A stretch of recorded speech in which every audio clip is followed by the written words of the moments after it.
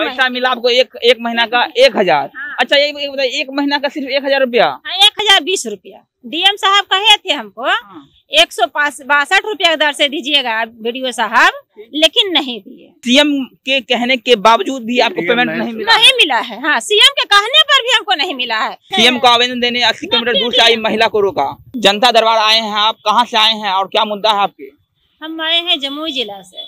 क्या मुद्दा है? मुद्दा यही है कि हम तेरह में तेरह से अभी तक ले काम किए। डीएम प्रखंड में ब्लॉक में आप काम किए? ब्लॉक में हाँ। दो हज़ार तेरह से। तेरह से।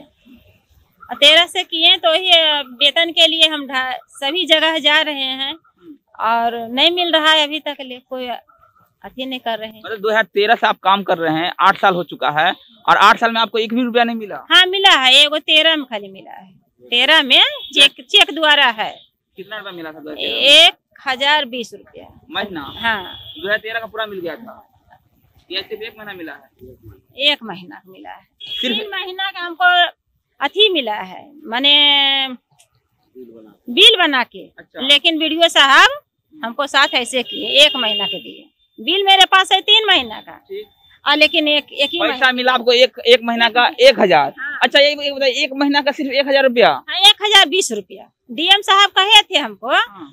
एक सौ बासठ रुपया दर से दीजिएगा वीडियो साहब लेकिन नहीं दिए तीस रुपया हाँ। है प्रतिदिन तीस रुपया। हाँ हाँ हाँ तभी भी हम उतना काम करते गए हैं हाँ। और फिर भी नहीं दिए अब देखिए दो हज़ार तेरह से ये काम कर रहे हैं वीडियो के अंदर में ब्लॉक में और अ, कहा गया था इनसे जो एक सौ पैंसठ रुपया पर डे इनको मिला हाँ दी जाएगा दिया जाएगा लेकिन इनको क्या हुआ? इनको तीस रुपये प्रति दर से, रखा गया। मतलब महीने में एक हज़ार बीस रुपया इनको देना था।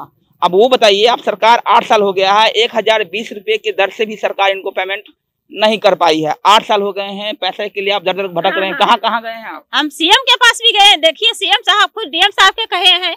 हाँ हाँ हाँ है निर्देश दे दिए। सर जो इन्हें वेतन दिया जाए। सॉकेट हाउस में तेरह में। अच्छा।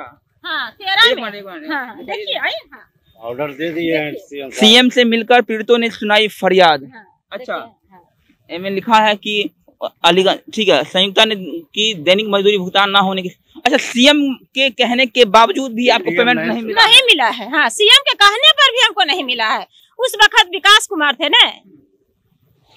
देखिए आप- अफसरशाही किस तरह से चरम पर है वो आप देख सकते हैं सीएम का फरमान और सीएम के निर्देश का आदेश का पालन उनके ही अधिकारी नहीं करते हैं। और ये सबसे बड़ा, बड़ा जो है खामी नज़र आ रहा है। फिर हम गए वहाँ। पेपर में भी छप चुका है इनका। देखिए वहाँ मिलने के लिए गए सीएम को आवेदन देने अस्सी किलोमीटर दूर से आई महिला को रोका। ठीक आपने सबको दे दिया है आवेदन हर जगह से लेकिन मुख्यमंत्री के निर्देश के बाद भी आदेश के बाद नहीं, नहीं मिला है। हाँ नहीं मिला है। हाँ नहीं मिला है। अभी तक ले अभी तक ले हम दौड़ रहे हैं दर दर भटक रहे हैं। अभी हर एक आदमी से फिर आप आए हैं जनता दरबार हाँ हाँ फिर आए हैं। लगता है इस बार जब पिछला बार बार आगे बार भी हम आए हैं तो उस वक्त भी नहीं दिया कि ऑनलाइन नहीं आए तो डीएम तो ही ना कह रहे हैं कि डीएम साहब अपना खुद अथी हमको लेके आएँगे। उनका अपना शिकायत है वो हमको लेके आएँगे लेकर के। मेरे पास सब चिट्ठी है। अरे सब गलत है। महिला की विकास को उत्थान करने वाले नीतीश कुमार जी के दर राज्य में महिला पिछले आठ साल से अपने वेतन के लिए अपने न्याय के लिए दर दर की ठोकरें खा रही है। और यहाँ तक कि नीतीश कुमार के आदेश के बावजूद भी इनका पेमेंट जो है वो नहीं किया जा रहा है। पिछले आठ साल से डीएम को हालाँकि सीएम नीतीश कुमार ने कहा था लेकिन सबसे बड़ा जो सवाल यह है कि अफसरशाही इतना इतना बढ़ गया बिहार में कि सीएम के आदेश के बावजूद भी इनका पेमेंट नहीं हो पाया है। डीएम आप कौन है डीएम क्या नाम है? अभी तो है सर। हाँ। है। इनको भी इनको भी हम दिए हैं हम्म। मार्च में दिए बाईस मार्च में दिए सारा आवेदन। आपने दिखाया होगा पेपर में दिखा, आया होगा सब दिखाया हाँ हाँ हाँ देखिए अभी ये भी है मेरे पास। उनको दिखाया आपने डीएम साहब को? हाँ हाँ हाँ। तो क्या बोले?